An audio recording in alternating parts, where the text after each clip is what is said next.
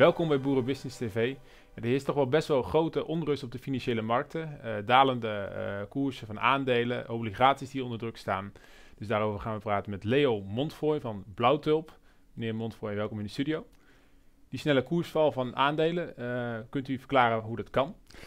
Ja, er zijn diverse redenen voor te vinden. Hè. Achteraf is het altijd makkelijk om te zeggen dat daar ligt het dan. Ja. Maar uh, voor een belangrijk deel ligt de zorg bij de handelsoorlog met China, tussen de VS en China. Uh, er is geen akkoord uh, voor een brexit, mm -hmm. de, ontkoppeling van, van de, de Engeland met Europa. daarnaast spelen de, het aantal renteverhogingen van Amerika, van de Fed, speelt, uh, roept ook zorgen op van gaat het niet te snel? Ja. Trump heeft het ook al een aantal keer geroepen. En als, als volgende item hebben we toch wel besmettingsgevaar van Zuid-Europa als het gaat om uh, Turkije, Italië en vervolgens Frankrijk. Want Italië is veel te doen geweest over de, de begroting die ze hebben va vastgesteld, of samen opgesteld, waar Brussel veel commentaar op heeft. Maar op de achtergrond speelt ook mee van uh, Italië heeft ook een zwakke financiële positie, heeft veel schuldpapier van Turkije.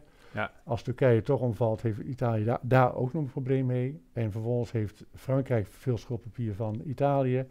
Dus, dus een domino-effect. Kettingreactie, dat noemen we dat besmettingsgevaar. Oké, okay. u noemt een aantal dingen op. De brexit, de handelsoorlog, de onrust in Italië. Welke daarvan is het grootste punt van zorg?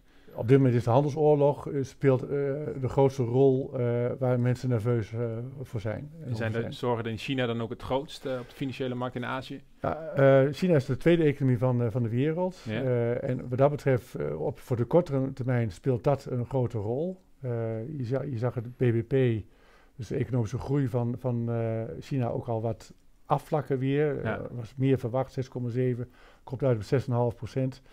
En wanneer die handelsoorlog verder op gaat spelen, zal dat alleen maar lastiger worden.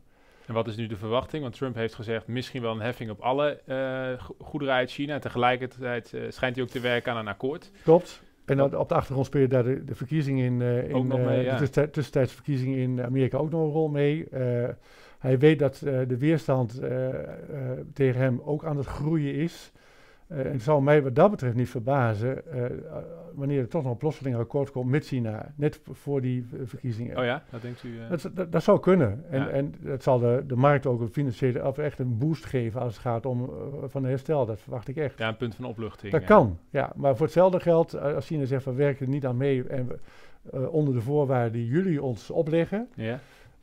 Dan hebben we straks een, een lastige situatie. En stel die cocktail met slechte nieuws, dat blijft uh, voortsudderen. En komen we dan uiteindelijk in een crisis terecht, denkt u dat?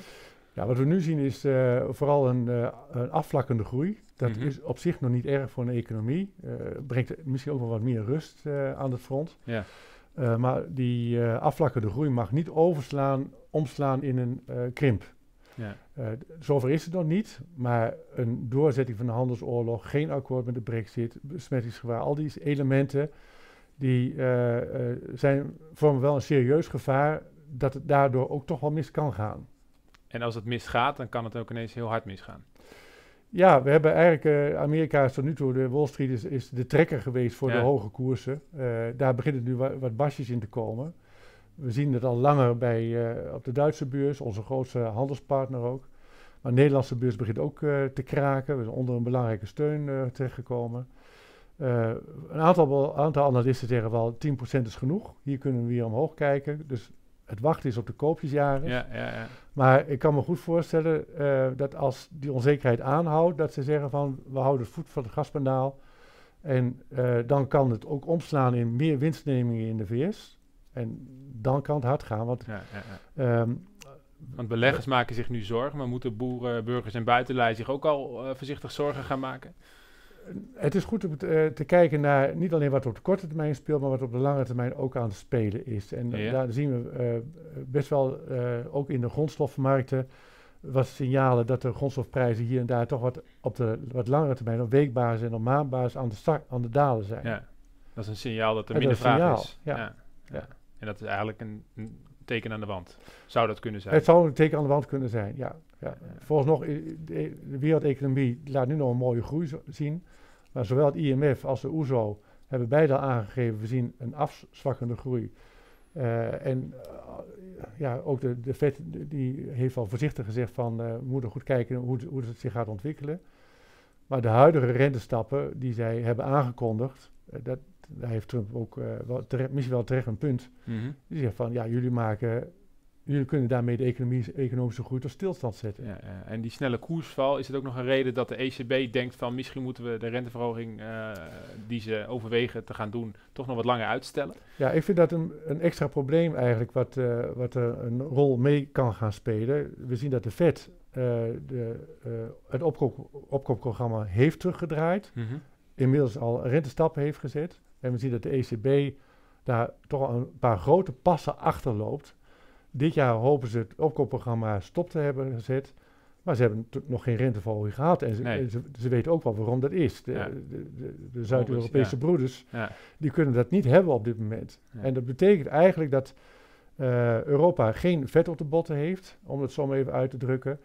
Uh, en uh, Amerika wel in staat is om bij een dreigende crisis weer de rente weer naar beneden te doen.